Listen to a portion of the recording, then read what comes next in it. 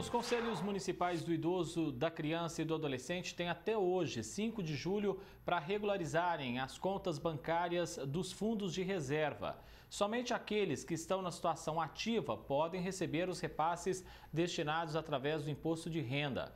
O alerta é do auditor fiscal aposentado João Pedro de Deus. Vamos acompanhar. Qual é a importância desses conselhos, dessas instituições municipais estarem em dia com as contas ativas para receber essa destinação do imposto de renda? Bem-vindo. Obrigado, uma boa tarde. Na verdade, o que, que a gente tem que verificar? O primeiro aviso é que as, os conselhos, tanto o Conselho da Criança e Adolescente e do Idoso de cada município, precisa estar até o dia 5 desse mês com as contas ativas. Muitas vezes o conselho utiliza a conta, passa um tempo e o banco é, deixa essa passa para inativa. Se, se houver isso, o conselho pode demorar muito tempo para receber isso depois de regularizar. Quanto às entidades, nesse momento não precisamos tratar da entidade, que a entidade, para receber esses recursos, ela tem que estar com as prestações de conta tudo certinho, com o projeto e cumprir todas as normas que o conselho tem. O que pode acontecer com esses conselhos se eles não estiverem em dia com a situação regular? Ah, o, o, os, os recursos não são repassados. E isso traz problema para cada município, porque o CNPJ, embora seja independente, o CNPJ de cada conselho, ele está vinculado ao CNPJ de cada município. E quando tem problema, isso pode afetar a, a, o recebimento de recursos pelo, pelo município, aquela participação do município, isso pode atrapalhar. Mas é, aqui na região a gente não tem tido esse problema, porque a gente tem conhecimento, porque o, cada conselho tem que fazer a sua DBF todo, todo mês de, de março, até o 31 de março, e não, não, a gente não tem visto problema quanto a isso, não. Importante reforçarmos também que ainda dá tempo né, de fazer a destinação do imposto de renda até o final do ano. E que isso não tem nenhum custo a mais para o declarante, né? É, na verdade, essa nós chamamos de destinação porque não é uma doação, é uma destinação que ele faz e na hora que ele faz a declaração, ele lança lá, ele recebe esse dinheiro de volta como restituição ou abatendo no imposto que ele deve pagar.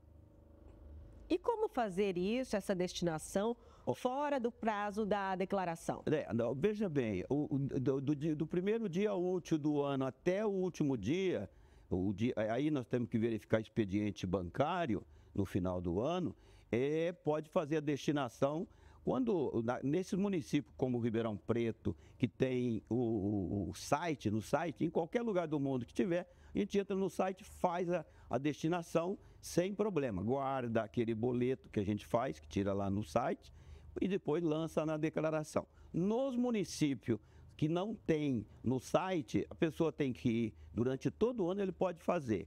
Ele tem que ir lá no, no conselho, pegar o número da conta, fazer o depósito e depois trocar por um recibo emitido pelo conselho, tanto da criança como do idoso. Isso tanto para a pessoa física quanto para a pessoa jurídica, né? Não, pra, não, para a pessoa jurídica, além do percentual que é diferente, porque para a pessoa física é, são 6% do imposto devido. Para a pessoa jurídica é, é, é, é 1%, mas ele pode fazer 1% do seu imposto devido, tá? Aquelas empresas que que, e mais 1% para o, o, o Conselho do Idoso e aquelas empresas que apuram o resultado pelo lucro real. E por que que a maioria, sim, dos contribuintes ainda não fazem essa destinação? Ó, veja bem, a gente tem notado, e há muito tempo que a gente vê isso, tem dois, dois fatores.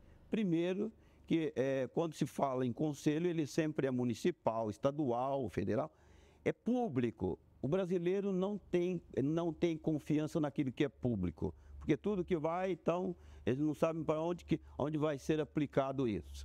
Ele não tem conhecimento disso. E nisso nós trabalhamos para conscientizar que é, o, esses recursos, quando vão para os conselhos, ele não pode ser utilizado para outra finalidade que não seja o atendimento das entidades é, que são é, é, registradas em cada conselho.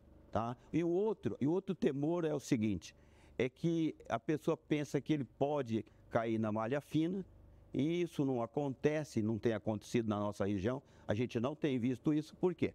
Porque tanto o Ministério Público fiscaliza isso, quanto tem a DBF, Declaração de Benefícios Fiscais, para que é, os conselhos declarem e isso vai bater com a nossa declaração. E, agora, o, o, a pessoa jurídica, ela faz na hora do efetivo pagamento do seu imposto, dentro do exercício, é diferente. Pessoa jurídica não faz a destinação eh, na, na declaração, é faz na apuração do imposto, dentro do exercício, de cada exercício.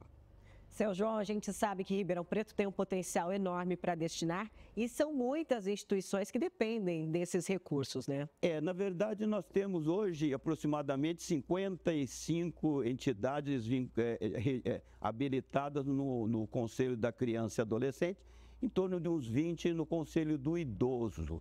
Então, nós temos essas entidades. Agora, quanto ao potencial, nós tivemos, talvez até por decorrência das catástrofe, nós tivemos aí, parece que, um aumento bom na, na, na no, no, potencial, no, na destinação do, da, da pessoa jurídica.